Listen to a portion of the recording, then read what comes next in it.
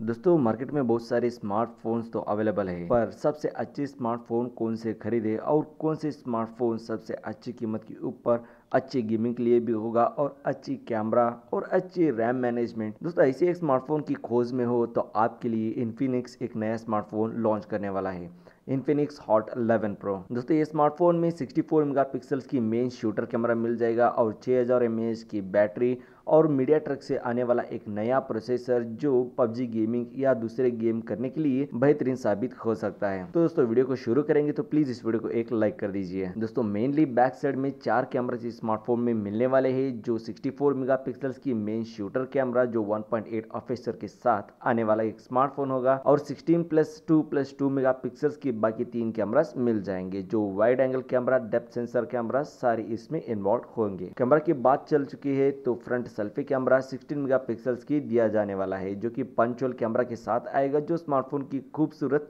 और भी बढ़ा देगा। यहाँ पर आईपीएस एलसीडी डिस्प्ले मिल जाएगी, जो 6.78 इंचेस की होने वाली है। कहा जा रही है स्क्रीन बहुत ही बड़ा होगा और इसमें गेमिंग काफ़ी कमाल की एक्सपीरियंस होने वाली है। एच प्लस इसकी रेजोल्यूशन तो मिल ही जाएगी और कॉर्निंग गोरिल्ला ग्लास फाइव की मदद की स्क्रीन प्रोटेक्शन दी जाएगी। दोस्तों, जैसे की मैं शुरुआत में आपको बताया था गेमिंग स्मार्टफ़ोन में एक बेहतरीन होने वाली है, जैसे की जैसे की रिसेंटली जो स्मार्टफ़ोन इन्फिनिक्स ने लॉन्च किया है, जो मीडिया के प्रोसेसर यूज़ किया है। इस स्मार्टफ़ोन में भी मीडिया टेक से आने वाला हेलियो 85 जी प्रोसेसर यूज़ किया जाने वाला है, जो गेमिंग के लिए काफ़ी कमाल की एक्सपीरियंस होगी। लैग बहुत ही कम देखने के लिए मिल जाएगी, जो की लगभग पंद्रह हज़ार के अंदर ये स्मार्टफ़ोन आने वाला है। दोस्तों, अगर अवेलेबिलिटी की बात करें तो ये स्मार्टफ़ोन दो या तीन वेरिएंट के साथ आ सकता है। अगर मेन दो वेरिएंट की बात करें तो six GB RAM eight GB RAM दो वेरिएंट के साथ ये स्मार्टफ़ोन आएगा तो one twenty eight GB sixty four GB internal storage हो सकती है। सिक्स थाउज़ेंड एम की बढ़िया बैटरी परफॉर्मेंस स्मार्टफ़ोन में दिया जा रहा है और इसको चार्ज करने के लिए थर्टी थ्री ओड की फास्ट चार्जिंग की सपोर्ट दिया जा सकता है। Three point five M M audio jack और जो भी सेंसर्स होनी चाहिए स्मार्टफ़ोन में कम्प्लीटली दिया गया है और यूएसबी टाइप सी पोर्ट के साथ आने वाला